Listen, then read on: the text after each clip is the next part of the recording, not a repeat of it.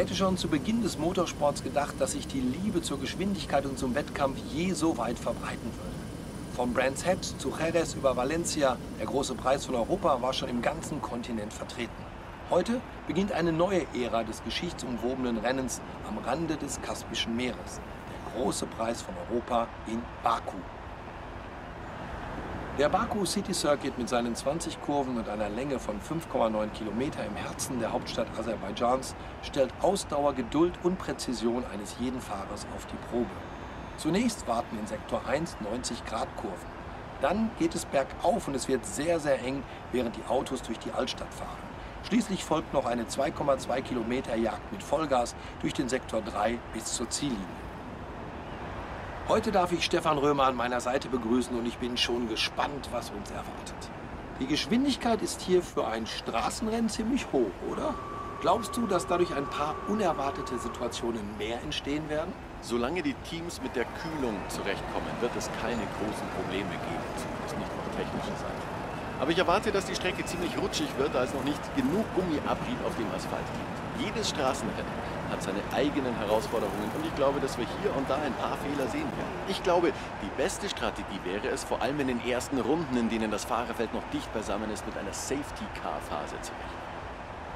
Vergiss nicht, auf der Strecke bis Kurve 1 innen zu verteidigen. Mach dich so breit wie möglich. Fahr robust, aber fair. Schauen wir uns die Ergebnisse des gestrigen Qualifyings und die Startaufstellung an, bevor es losgeht. Ferrari startet also von der Pole und Nico Rosberg macht die erste Reihe komplett. Die restliche Startaufstellung sieht wie folgt aus. Vettel, Hamilton, Valtteri Bottas und Alonso. Perez, Gutierrez, Grosjean und Daniel Ricciardo. Verstappen, Hülkenberg, Rio Hayanto und Button. Quert, Wehrlein, Markus Eriksson und Carlos Sainz Jr. Magnussen und Massa. Jolion Palmer und Felipe Nasser startet aus der hintersten Reihe. Die Lichter gehen bald aus, also schalten wir zur Strecke.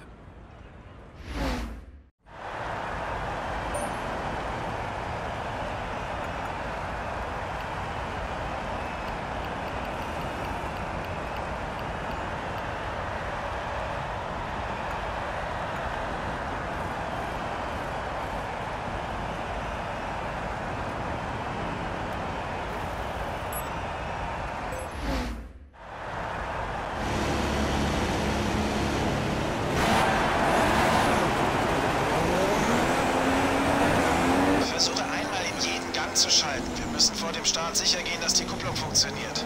Wir sollten die Reifen und Bremsen auf Betriebstemperatur bringen. Aber der Motor darf nicht zu heiß werden, also pass auf, dass die Drehzahl nicht zu hoch wird.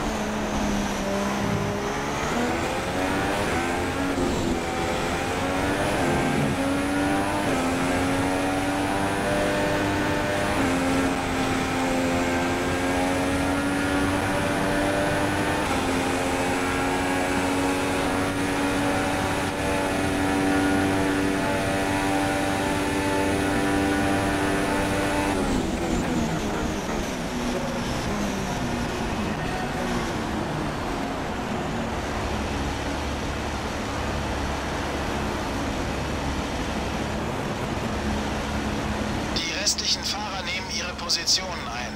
Gedulde dich und achte auf die Startanzeigen.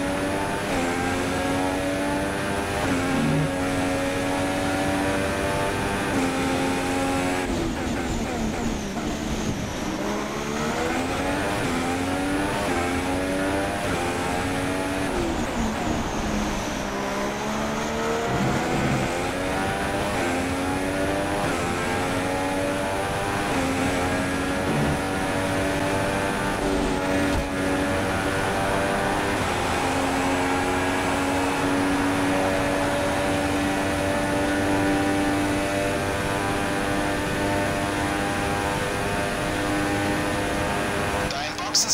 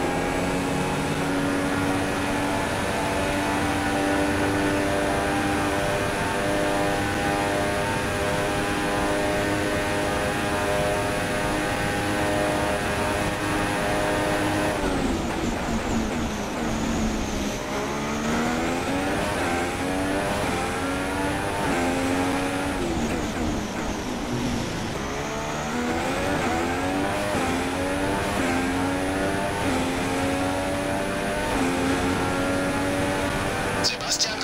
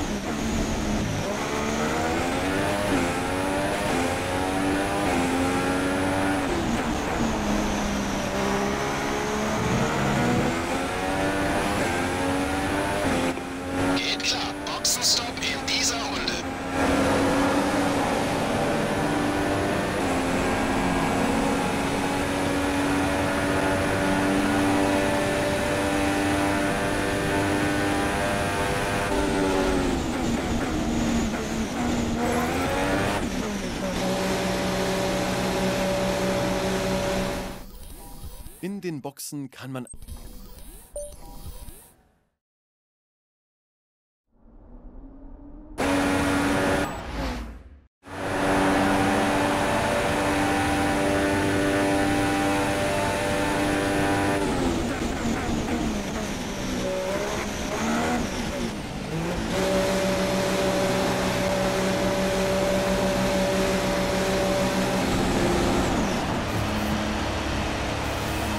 Los, los, los!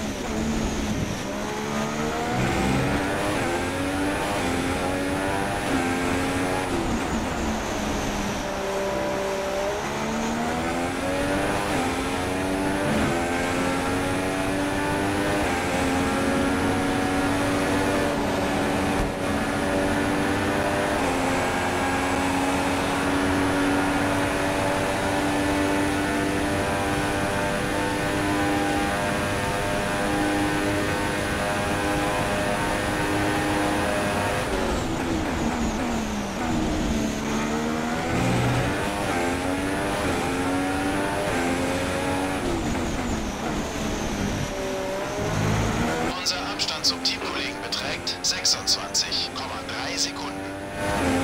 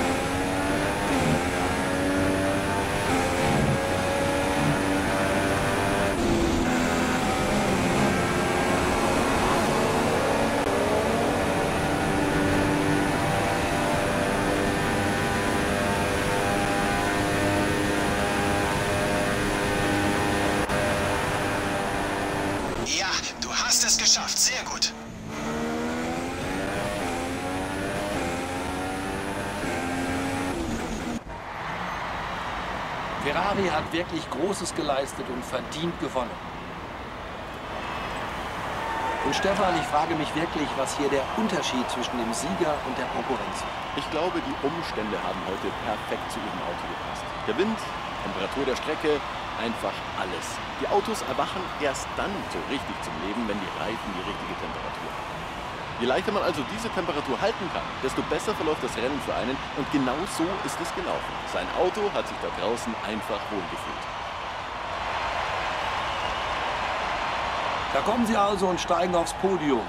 Egal wo man hingeht, überall auf der Welt dominieren die Flaggen mit dem springenden Pferd. Und auch heute sind sie wieder sehr zahlreich zu sehen. Ferrari steht einmal mehr an der Spitze.